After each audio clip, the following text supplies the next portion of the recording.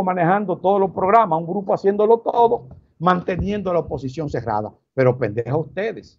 Dicen ahí que van a hacer unos cacerolazos, entonces, eh, hoy, que iba a pasar y que, bueno, pero que volverán esas cuestiones, por esa cacerola y eso. Yo no sé si eso va a surtir un efecto, no quiero criticar nada. Yo lo que sí sé, que en lo que eso está pasando, el país está empeorando. La economía quebrada, el mal manejo de préstamos por donde quiera. Ahora se está tomando préstamos. Ustedes sabían que eh, decreció el, déficit presupuestario nuestro de un punto 5 a un 5% y que habrá que buscar 265 mil millones adicionales para poder eh, complementar el presupuesto de ese déficit que hay a nivel fiscal. Y ya usted sabrá, con la reducción de divisas, disparándose el dólar, con el problema de, del turismo que dejó de llegar y todo el problema del tranque económico y un grupo manejando esto como si fuese un relajo. Y yo quiero que ustedes simplemente compartan conmigo lo que yo estoy diciendo, que ustedes a lo mejor dirán, bueno, Pitágoras, que es abogado, periodista, que veamos a hacerle caso nosotros a lo que él diga.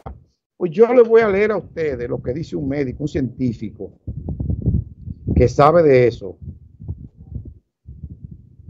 y que lo publiqué en nuestro Facebook, que lo voy a buscar para compartirlo brevemente con ustedes, este artículo, que no es de mi autoría, sino de una de un hombre con una, con una gran capacidad.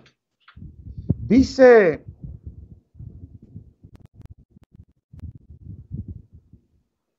el neurocirujano José Joaquín Puello, y se titula así, lo voy a poner aquí para que ustedes vean así de manera informal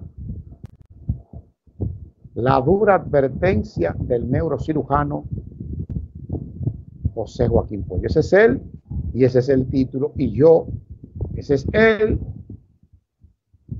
Para la gente de Facebook. Y ese es el título. Escuchen lo que dice él. Esto lo, lo publicó él el 14 de junio, es decir, ayer en la noche. Yo vivo leyendo. Mañana, tarde y noche.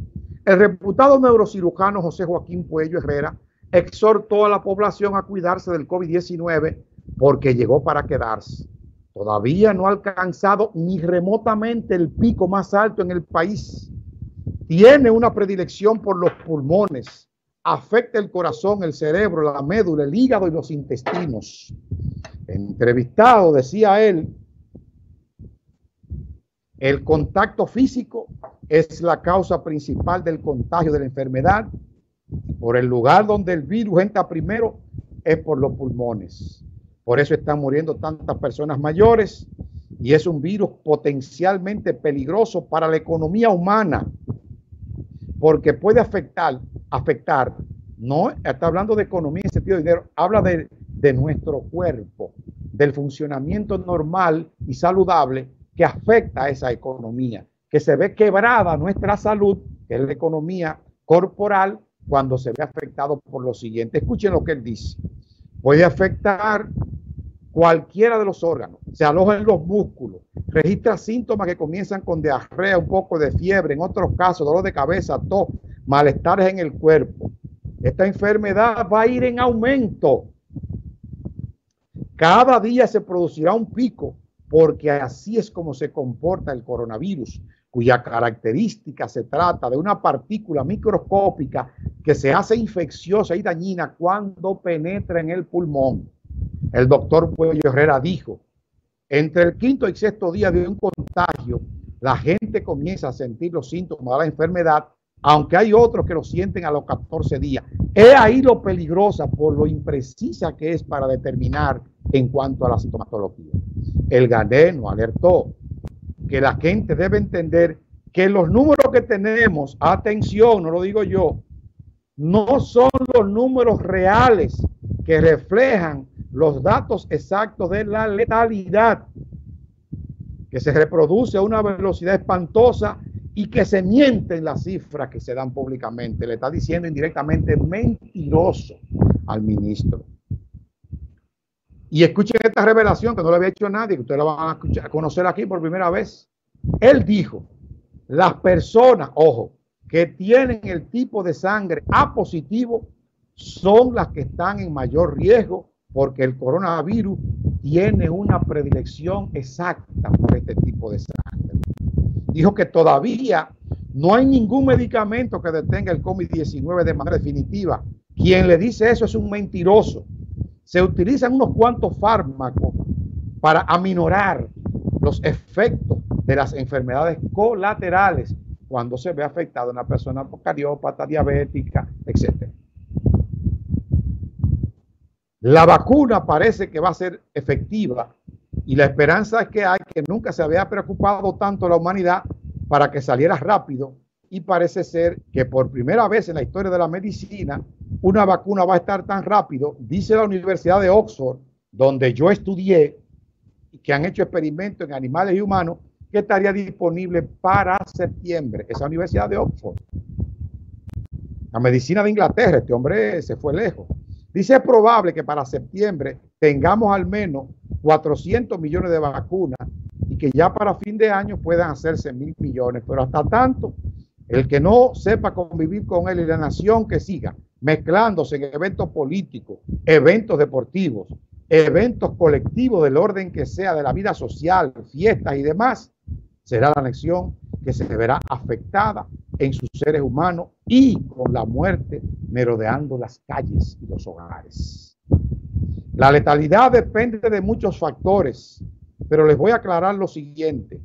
Con los modelos que se han estudiado hasta la actualidad, sobre todo las universidades de Stanford y la de Minnesota, señalan que la letalidad de la pandemia rondará el 1% de la población mundial. A pesar de que este virus es muy contagioso, la letalidad dependerá del sufrimiento de otras enfermedades, por eso hay que cuidar a los viejitos, a la persona inmunocomprometida para que su efecto de muerte se disminuya. La gente que tiene hipertensión arterial, que sufren de diabetes, son las más propensas a morir. Las cifras más altas no lo hemos visto y lo vamos a estar viendo en los próximos días. Y creo que el evento político que veremos será un desencadenante para otra fase de contagio letal.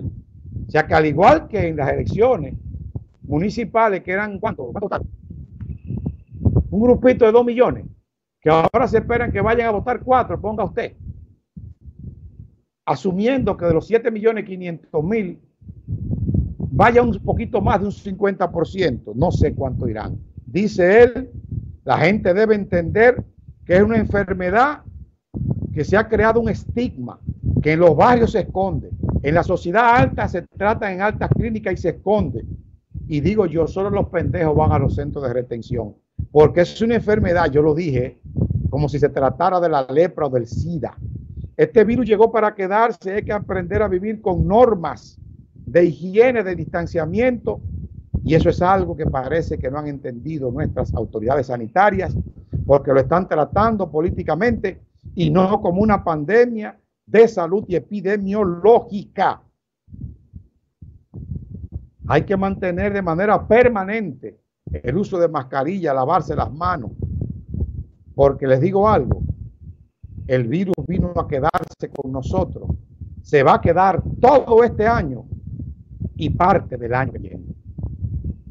He dicho, no digo más. Buenas noches, dígame usted.